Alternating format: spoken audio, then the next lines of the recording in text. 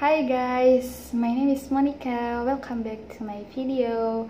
Now I want to give a response from what would you do channel and I want to tell you what I watch in that channel. So that channel is kind of social experiment in the lavish coffee bar. This video told about a man who was old and cannot read.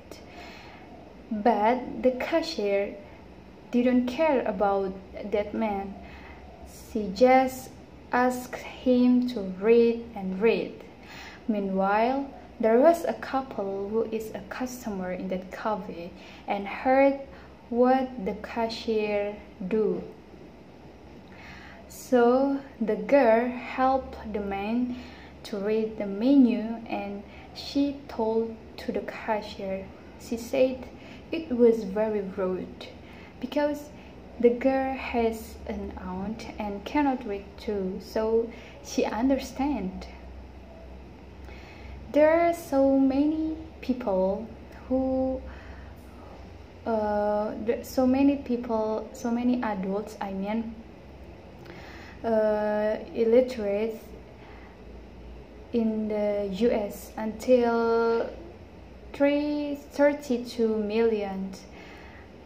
Uh, but there is some, but in that video, there is some people still don't care about adult illiterate.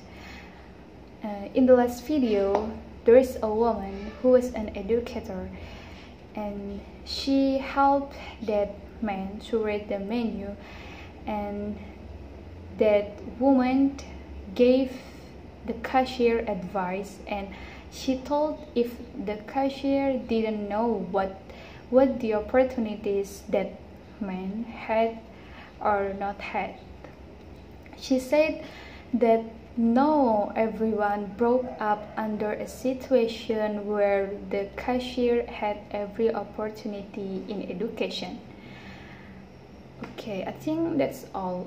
But uh, I think this channel is recommended to watch because it can be motivated by everyone to help each other and from that social experiment we know that people wrap from that situation. People wrap from that man who was illiterate.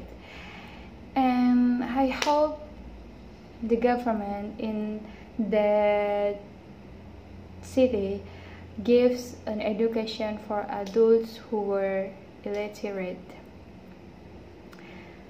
I think that's all uh, respond from me and thank you for watching